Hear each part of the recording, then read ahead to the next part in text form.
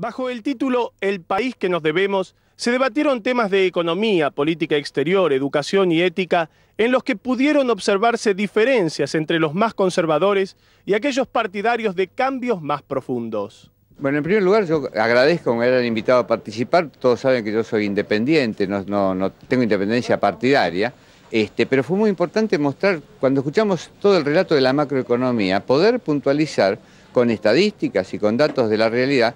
la otra visión de nuestro país, la visión de la gente que no tiene trabajo o que si tiene trabajo tiene precarización, que no tiene estabilidad, que tiene zozobra, lo que pasa con la distribución del ingreso. Fue una discusión muy rica donde pudimos expresar este, con, mucha libertad en un ámbito este, de, digamos, de excelencia, como, existió acá, este, un marco de pluralidad, nuestro un pensamiento que es contradictorio con el, con el que han expresado otras personas. ¿no? Bueno, mi presencia aquí indica que efectivamente pienso que Dualde ha exhibido en la administración de su provincia